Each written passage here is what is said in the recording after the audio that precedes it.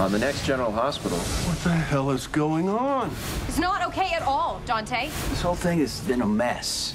Dylan? Dad? I know that you never keep a secret like this from your family. Is this your son? This is Jake.